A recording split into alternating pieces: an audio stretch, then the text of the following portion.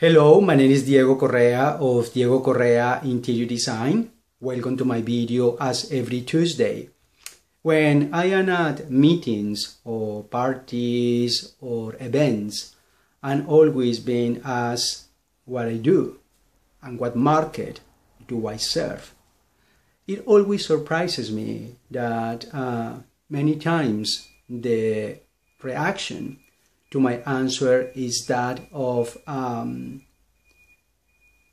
thinking that all single men live exactly in the same way, that they are after the same uh, aim, the same lifestyle.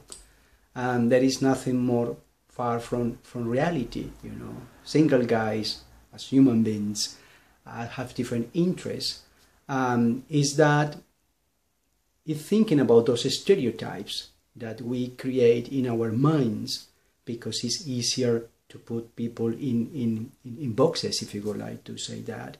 Uh, it's important to me to clarify, to answer, because I work with those guys and I work with a very complex uh, segment of the population uh, with different interests and different motivation, these motivations. And it is about that that I would like to share my thoughts with you, to share my thoughts about those stereotypes that some people have regarding this market in particular.